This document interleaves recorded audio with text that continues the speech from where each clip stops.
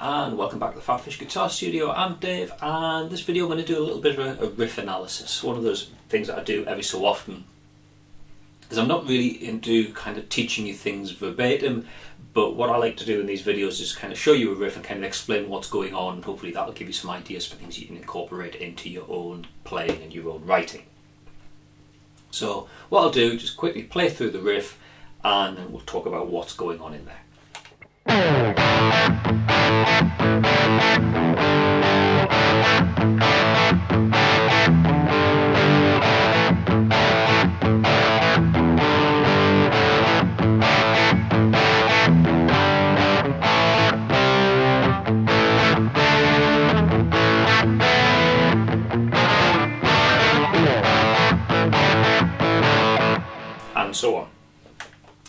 So let's break that down. It's in the key of A minor. It's actually, I guess technically it's A Dorian, but uh, don't worry too much about that.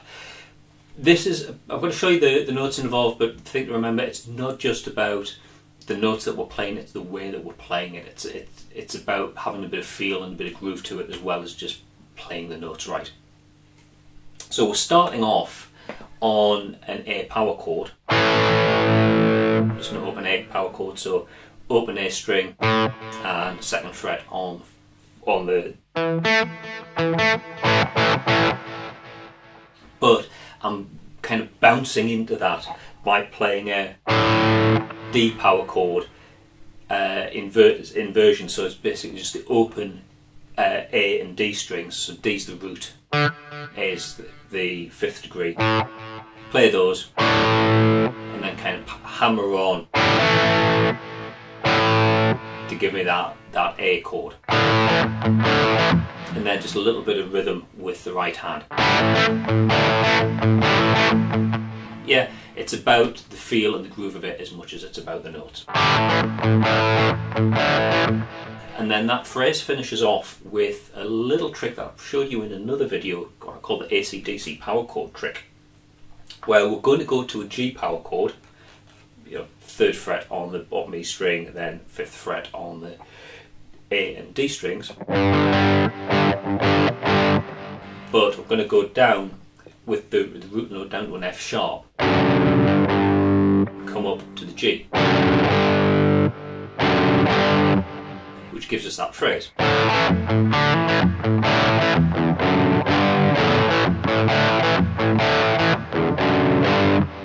and that's played through four times. I can't stress enough, get your fingers around the notes when you're playing things like this, but think about how it feels. You, you, you need to have nice fluid picking action and it needs to have some, some groove to it.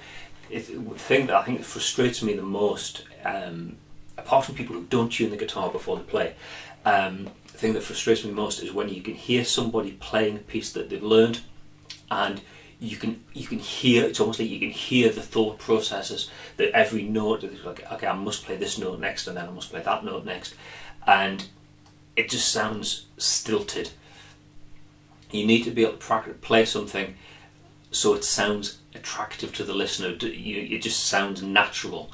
So thinking about how you're playing as much as what you're playing is is kind of the objective of this exercise Okay, so that's the first part of the riff, just that. Pattern. Then we go into uh, this.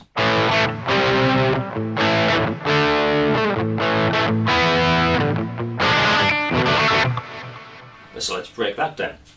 It's basically a power chord pattern, A power chord to C, then an A power chord D, and then an A power chord. Now I could go to an E because I'm playing an E power chord. I could play it here, which would give me.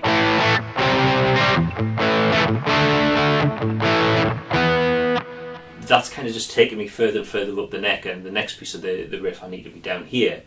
So I'm playing the, the C power chord here at the third fret, D power chord here with the fifth, but for the E power chord, I'm going to go up a string, so playing an E at the second fret on the D string, then the B at the fourth fret on the G, and the E at the fifth fret on the B string.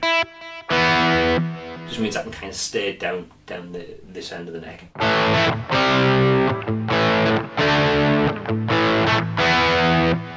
Also quite like doing that because you're playing on the, the top strings. That last chord kind of cuts through a little bit more because it's, it's got a bit more bite because you, you've got there this the, the it's a slightly bitier sound on the on the treble strings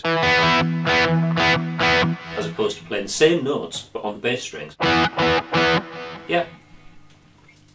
I mean, if you can transition really quickly, you could play play the, the E chord here, but I'm choosing to play it down here. And it's my riff, so we'll do it the way I, uh, I've chosen.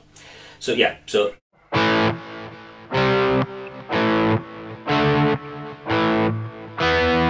And then we're finishing off on uh, chord substitution. The last chord in the riff is actually an E7 sus4. Sounds like this. So we've got an open E string, root of the note, root note of the chord. We've got a fifth B second fret on the A string. We've got a flat seventh degree, the open D string.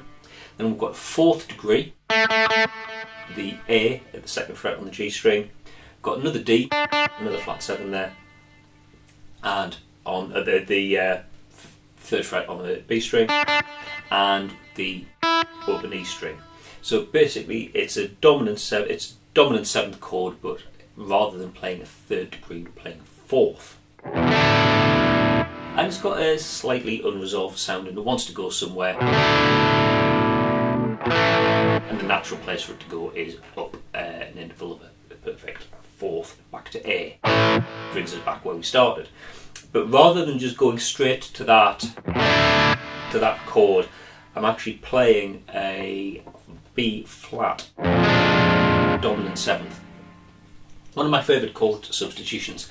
Anywhere you can play a dominant seventh chord, you can get away with playing the dominant seventh chord that's got a root a flat fifth above or below uh, the root of the chord you're playing. So a flat fifth up from E is B flat, so the B flat dominant seventh is acting as a chord substitution for an E7 type chord so I'm playing that and then down to the uh, E7, E7 uh, sus4.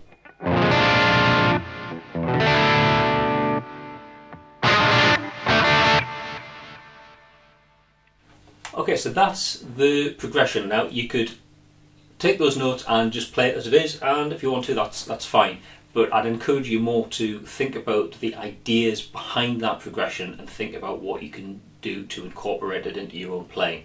So the important things in here, the little techniques that we've got, are there's that ACDC power chord trick. On the first half, there's that seventh, that dominant seventh chord, uh, chord substitution, where we're using a, a a, B flat 7 as a chord substitution for E7 type chord. And the most important thing is just thinking about how you play riffs and how you how you play anything. So it's got some some feeling to it, and you're not just going through the motions of playing notes. You know, absolutely bang on time. It kind of flows. It's got it kind of got a bit of a swing to it, and it feels natural and nice and something that you want to hear and the listener wants to hear. Okay, so ideas there learn that, like I say, as if, as it is if you want, but take the ideas and be creative and make something of your own. Okay, that's all for now. Hope you found that useful and interesting. If you did, please click like down there. If you really enjoyed it and you want to see some other videos that I post onto the channel, then please click subscribe, also down there. You're welcome to leave a comment, but to be honest, I don't always see comments left on videos, so if you've got a specific question that you want to ask me, whether it's about you know, music theory, composition, uh, guitar playing, guitar equipment, anything at all, you're better off going here, filling that form in and sending your question in that way. Don't always see comments on YouTube videos, but I am guaranteed to see that uh, any questions sent in through that form. Okay, that's all for now. Thanks very much for watching, and I'll see you next time. Bye for now.